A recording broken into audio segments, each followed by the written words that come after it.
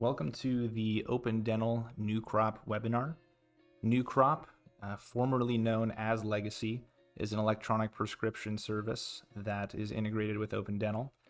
And they have released a new update that is bringing some changes to the interface as well as some new features. We're going to be covering those today, as well as just going through the process for creating and sending a prescription so that you guys can be familiar with that process uh, once you get your hands on this new interface. Before we get into that, let's take a look at some of the initial requirements here. Um, for starters, Open Dental version 21.2 and above is required in order to use the service. Microsoft Edge is also required to use this service. Uh, an office will need to be on support in order to sign up for the service. And offices can use NewCrop uh, as well as DoseSpot, which is another ERX service that Open Dental is integrated with in the same office at the same time, should that be needed. Uh, the sign up process for Legacy is fairly straightforward. The office will need to schedule 30 minutes of uninterrupted provider time to work with an open dental technician to go through the identity proofing process. Uh, the doctor will need to be present for the entirety of that appointment. If an appointment time does not work, doctors can also call in um, whenever they are available to proceed with that process as well. The fees for this service are listed on the web manual. Uh, there is an EPCS yearly fee that is paid directly to NewCrop, and that is, again, just for the ability to send controlled substances. Uh, again, if you'd like to see those updated prices, they will be on our website. So let's take a look at the legacy interface here and we're going to see some changes immediately just to how it looks. Let's go ahead and launch this here. We're going to go click on ERX. And the first thing that I want to bring to your attention here is going to be in the problems tab. Um, again, some of the navigation is going to be a little different, but more or less the process for some of the existing features will remain the same but we're going to go select problems here in the top toolbar. And what this will give us the ability to do is add allergies for the patient that we have selected. We can see I have ERX patient selected here and the patient section is going to have a date of birth and the rest of their patient demographic information here as well. To add an allergy, I can simply click add and it's going to allow me to search the database of allergies. I can also select common allergies to add those as well. From here, we also have the ability to view diagnosis codes. If they have a completed procedure in Open Dental that has an ICD-10 code attached, those will be visible here. One of the things that we really like about this new update is the ability to add and manage pharmacies in a much easier way. Um, I can even see from here actually, we have the ability from the problems tab to manage existing pharmacies and add new pharmacies, so they can be selected from here. Uh, they are also available from every other tab aside from the admin tab and the help button, which isn't actually a tab in and of itself. But as I go through each one of these tabs, I can see the pharmacy dropdown is available under each one of these, as well as the doctor and health plan dropdowns. The compose tab is where we're more often than not going to be starting and also doing a majority of the work.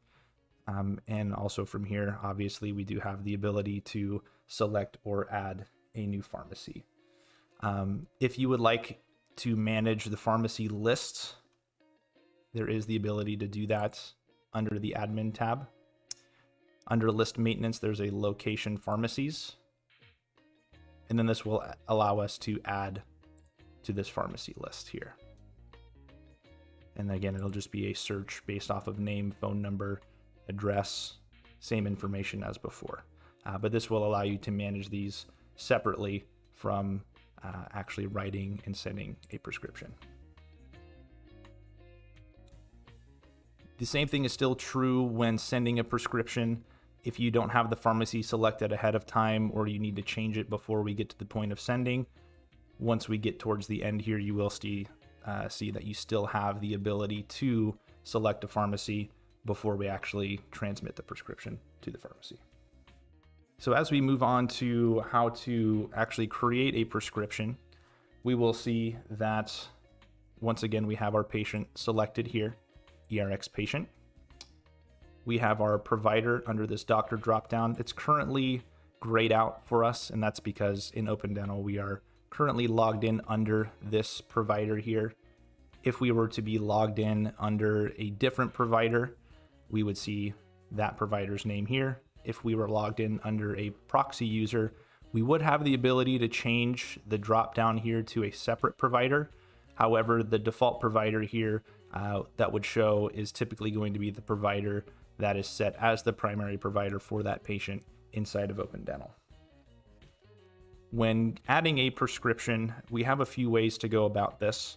Um, as per usual, we can search for a medication uh, using the drug search field. We'll use amoxicillin as our example. Um, we can start with just adding a few of the letters here, and then I can hit drug search, and it's going to give us the results based off of what we would have entered in. And then I can expand this amoxicillin search and then pick the required dosage and amounts, and then fill in my script from here. Another way of adding prescriptions and managing them uh, would be from the provider favorites list. This is another thing that's had a very welcome change. Um, I can simply select a favorite by clicking the drop down. I can also add a new favorite by clicking the drop down and hitting add favorite. If I click the favorites button, it will just drop down the favorites list for the provider that we are logged in as. And what we would be currently looking at here are favorites that we have already previously created ahead of time. The nice thing with the favorites list now is that we don't actually need to create a prescription, save it as a favorite, and then delete it in order for it to appear on the favorites list. As previously mentioned, I can just hit the drop down, click add favorite, and that'll take me straight to a list where I can do the same thing essentially here, search for my medication, if it were amoxicillin, and then fill it out as if I were going to be prescribing, but just filling out my script information and then saving it. Makes it much easier to manage and create the favorites.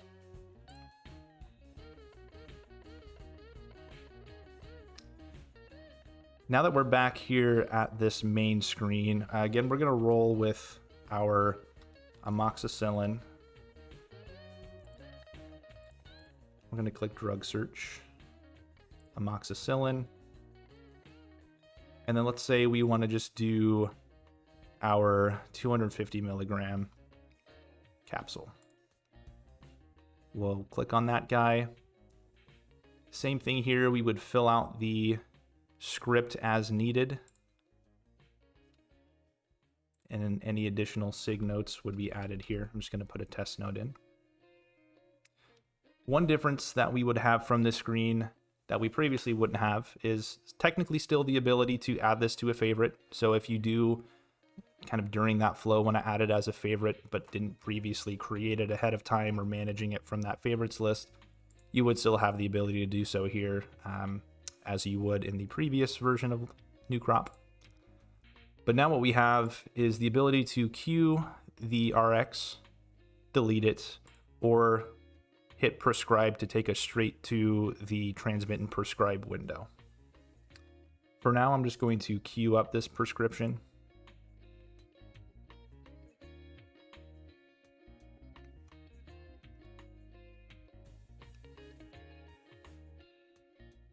and that will take us back to the compose page. This is more similar to what we would expect to see previously, uh, where it'll take you back here, and then you can choose to prescribe from this window. Again, clicking the prescribe button in the actual window itself will allow you to go straight to prescribing. We're going to go ahead and go straight to prescribing here instead of queuing. So I'm going to click on the prescribe button and this will take you to your page where you would then approve and send um, your medications. The provider is the only user that has the ability to approve and send controlled substances. Non-providers are allowed to send non-controlled substances in NewCrop. From this window, we can still select a pharmacy or search for a pharmacy. So again, if this was not selected ahead of time, we can change it here. Right now it would go to this Walgreens listed here. If I wanted to change the pharmacy, I would simply select from our list down below.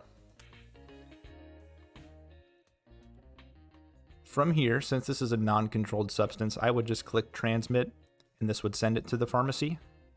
If this were a controlled substance, we would still follow the same process. However, we would be prompted for some additional credentialing here, which would be the provider's four digit PIN, as well as a six digit code that would come as part of the two factor authentication for sending controlled substances. If we were to go back to our compose page here, we would have the ability to view any active or discontinued medications for the patient we have selected. For now, we don't have any active medications because this amoxicillin has not actually been sent to the pharmacy, but we would have the ability to see those here. If there are any discontinued medications, we can hit the drop down here. We're going to see that there's a few for our test patient, but this is where we would be able to manage those.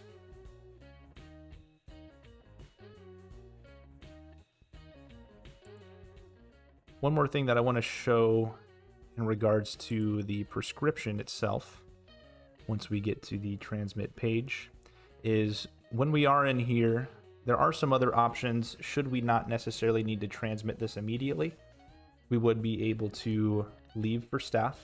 If this were a controlled substance, this would say leave for doctor, and that would just allow them to come back and approve and send that substance and would keep it in a pending status. Printing would print the prescription.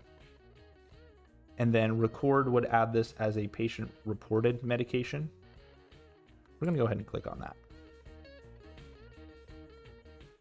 And in this case, now we can see what an active medication would look like.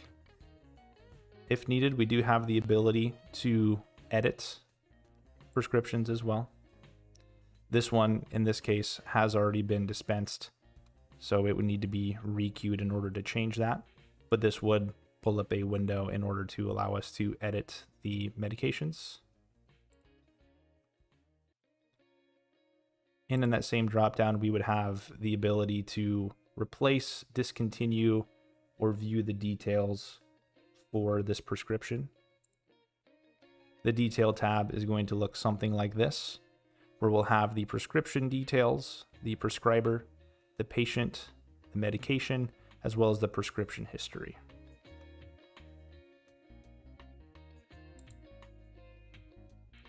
One more thing I'd like to mention about the favorites list is when managing the favorites list, we'll actually go here to our pharmacy and let's say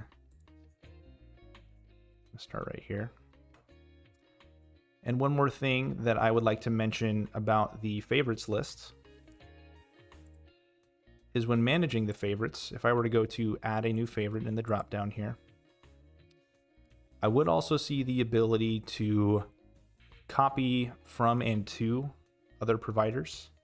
So should we ever need to copy a list from one provider to another, I would have the ability to do so.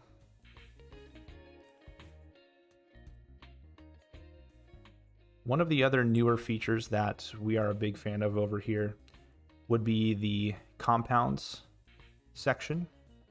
So in order to add a compound in medication, we would just hit the drop down or click on the button itself to pull up this list.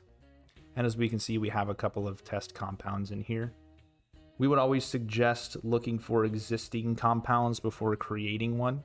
Uh, a fairly common example would be something along the lines of an acetaminophen codeine. Uh, so always try a generic version. And then if that doesn't exist, we do have the ability to create compounds in here. So we would just click on new compound.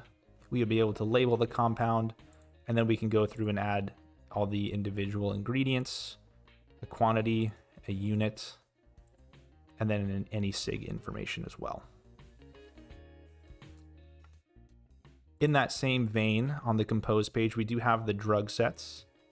Same thing, I can click on the button or click on the drop down and add a drug set.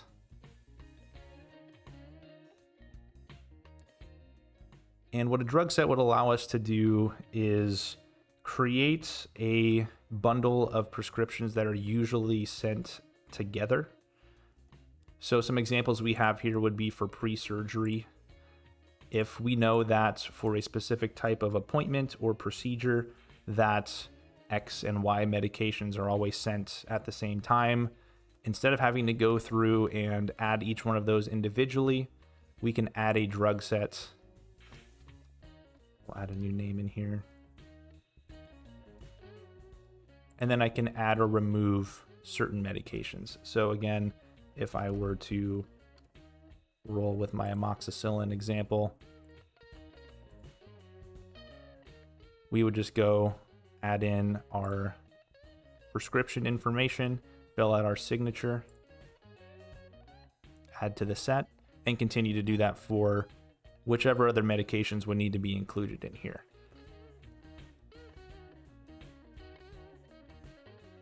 This would give you the ability to click and add one of these to add multiple medications in just one click. We're going to show that off for you here. Let's add another medication to our test list so we can kind of see it at work.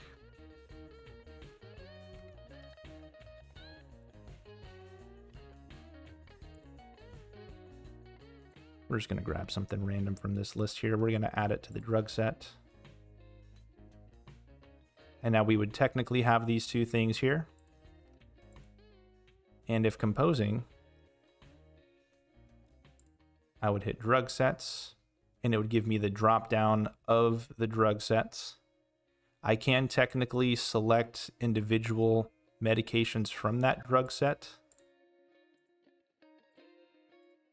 Or I can select the entire set itself by clicking this radial button here. So I'm going to go ahead and pick our test and I can prescribe. And again, clicking on this prescribe button is going to take us straight to the page to actually transmit and prescribe this. The dropdown would allow you to queue that up as well, should you not need to send it straight away. And one of the last things that I will show you guys here is this tasks option in the top right tucked away. This would allow us to manage a few things such as renewal requests, pharmacy change requests, and also be able to see unsent and failed prescriptions. So as we can scroll through here, we'd be able to see all of our unsent prescriptions that we've been playing around with here thus far. Um, there are no pharmacy renewal or change requests available for us, and we currently have no failed prescriptions. But this would allow us to manage those should we need to.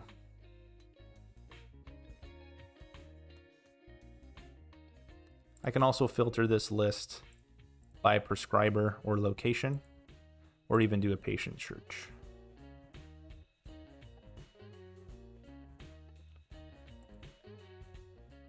If there are any issues with a prescribed medication, we can view this details tab and report a missing script.